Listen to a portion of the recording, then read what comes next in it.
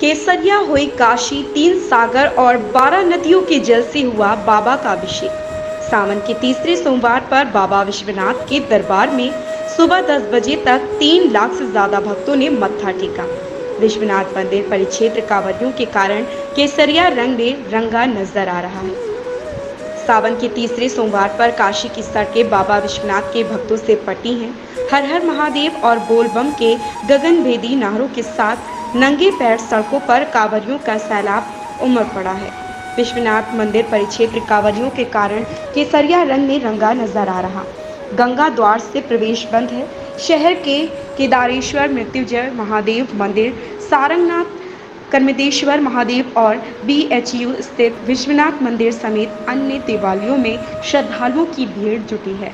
बाबा विश्वनाथ के दरबार में सुबह 10 बजे तक तीन लाख से ज़्यादा भक्तों ने मत्था टेका है।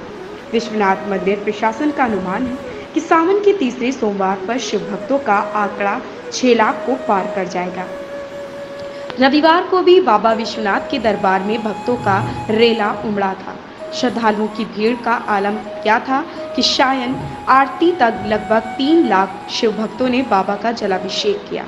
सावन के तीसरे सोमवार पर रात से ही बाबा का जलाभिषेक करने के लिए शिव भक्तों की कतार लगनी शुरू हो गई थी। सोमवार अलसुबह मंगला आरती के बाद बाबा विश्वनाथ के मंदिर के गर्भगृह के पट झांकी दर्शन के लिए खुले तो कतार में खड़े श्रद्धालु हर हर महादेव के जयकारे लगाने लगे।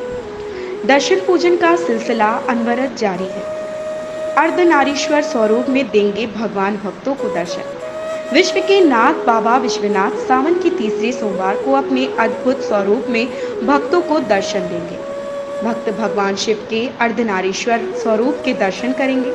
खास बात यह है कि भगवान शिव का यह स्वरूप भक्तों के लिए होता है। मनुस्मृति के अनुसार महादेव ने स्वयं को दो भागों में विभक्त करके अर्धनारीश्वर स्वरूप के दर्शन कराए थे। तीन सागर और बारह नदियों के जल से हुआ बाबा का अभिषेक। बाबा विश्वनाथ के दर पर श्रद्धालुओं का रेला सावन के तीसरे सोमवार पर बाबा विश्वनाथ का जलाभिषेक बेहद खास रहा।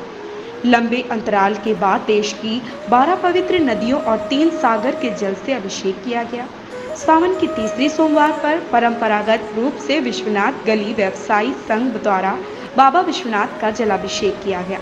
विश्वनाथ गली व्यवसायी संघ के नेतृत्व में होने वाले जलाभिषेक में इस बार विशेष तौर पर देश के विभिन्न भागों से 12 नदियों व तीन सागरों, जिनमें गंगा के अलावा यमुना, सरस्वती, त्रिवेणी संगम, कावेरी, ताप्ती, ब्रह्मपुत्र, अलकनंदा, वरुणा, गोदावरी शिप्रा सिंध, कृष्णा, नर्मदा के साथ ही तीन महासागरों महानंद गंगा सागर अरब सागर के साथ ही हिंद महासागर का जल मंगाया गया था। शास्त्रार्थ महाविद्यालय के 11 वैदिकों द्वारा पूजन कराया गया।